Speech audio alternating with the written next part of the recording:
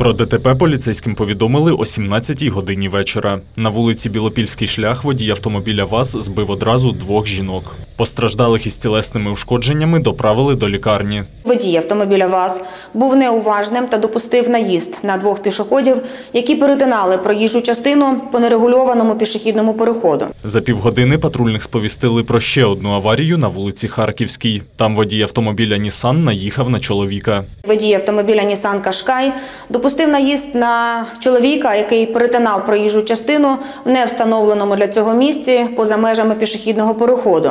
Постраждалого доставили до лікарні з тілесними ушкодженнями.